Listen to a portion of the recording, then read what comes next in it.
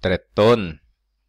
Eh, lös ekvationssystemet exakt. Det betyder att om de har inte sagt någonting vad ni ska använda. Eh, det kan vara grafisk eh, additionsmetoden eller substitutionsmetoden. Men jag ska inte använda eh, grafiskt den här gången. Jag ska lösa den algebraisk. Så ibland löser jag med eh, löser jag med substitution. Ibland löser jag med addition. När ska man använda dem? Eh, det lättaste är att använda substitution när ni vet att den har redan löst ut i. Samma sak här, samma sak här. De har löst ut där. Det substitution är det enklaste. Här, för att undvika lösa ut i så kan jag använda den här med addition. Så A, B och D substitution och C addition ska jag använda. Det betyder att när de träffas med varandra, det betyder att den här linjen, den här linjen är lika med den här linjen. Alltså de träffas en viss punkt. Så jag kan väl göra det. Alltså y är lika med y. Ja, vi brukar kalla den här 1, 2. Vi brukar kalla så. Så jag kan väl kalla den i, i 1 och i, i 2. De är lika. Så jag, sätter jag i en ekvation 2x minus 2,7 är lika med 8,5. Oj, det blev 5x.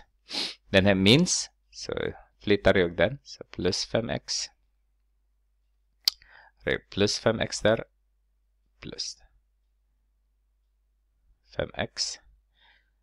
Plus 2,7. Jag vill inte ha 2,7 där. Plus 2,7. Så den här blir 0. Den här blir 0. Så har jag 7x är lika med är lika med 2. 1 där och 11. 11,2. Vidare med 7 båda leden. Så x är lika med 1,6. När man är klart med 1,6 med x så sätter man, en, sätter man den. Så y är lika med 2x minus 2,7. Det spelar ingen roll om det är ettan eller tvåan ni kommer att använda. Så jag har valt ettan. Så 2 multiplicerar med 1,6 minus 2,7.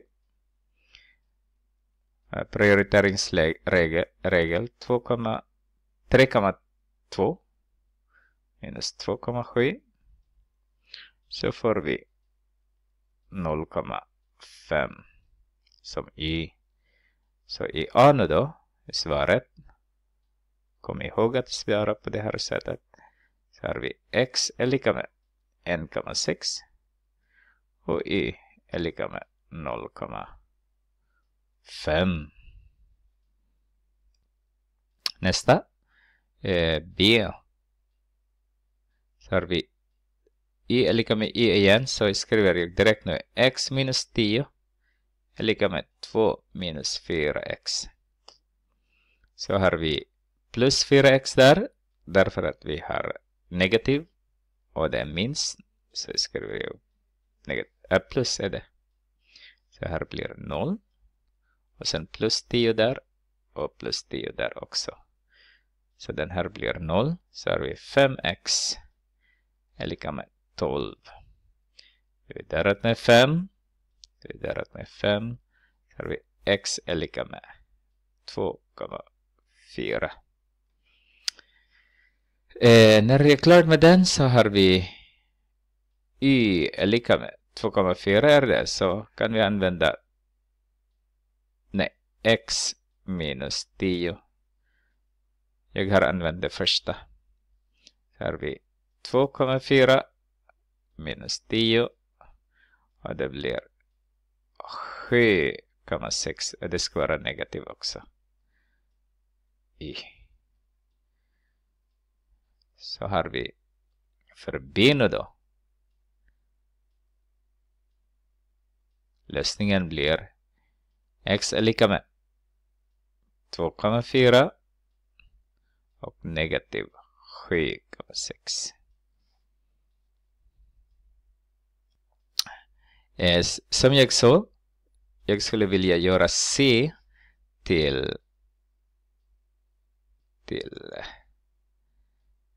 um, additionsmetoden istället. Inte multiplikationsmetoden. Kanske kan använda någon annan färg. Så jag kan göra den här. Multiplicera hela den här. Så att de har motsatta nu. Plus och minus där. Så det be betyder bara att det ska finnas 3 där så att det blir 0. Så jag multiplicerar hela med 3. Så har jag egentligen, om jag gör så här nu då, så har jag 3x plus 3y är lika med 6. Har jag 2x minus 3y är lika med 9. Har jag 15x, är 5x. Den är inte där. 5x bara. Den här är 0 är lika med 15 så dividerar jag med 5. Min hjärna är före egentligen. Så har jag x är lika med 3. Och då när man har löst eh, x är lika med 3 så är man klar. Sätta in bara värde på 3 så har vi jag väljer ettan nu då så har vi 3 plus y är lika med 2 negativ 3 där negativ 3 där. Så y är lika med negativ 1. Så x och y, deras värde, alltså dessa två, två linjer träffas i x som är negativ 3 och y som är negativ 1. Nu är det sista. Det betyder att z är lika med 3i minus 7 4z minus y är lika med 27. Det betyder att z kan jag sätta in i z där redan. Alltså den z. Det finns också z där. Men det är istället av skriva z så skriver jag 3y minus 7 här. Så blir det så här. 4 multiplicerar med den värde på z 3i minus 7 Minus y. Ser ni att det finns också minus y? Jag skriver här tvåan där så att ni ser att jag använder tvåan. Det här är ettan. Tvåan där. Är lika med 27. Då så. Den här, hela den här är z. Och så multiplicerar jag den. Så. Så är 12i. Minus 28. Minus y är lika med 27 så har jag 11i. 11i. Jag har plus 28 där. Plus 28. 11e, 12 minus 1. Har jag. Så har vi 5. 55 egentligen. 5, 55. Äh, 5. 1 där och 55. Och dividerar jag med 11. Med 11. Så i är lika med 5. Nu är jag klar med i. Då är jag z då. z står här.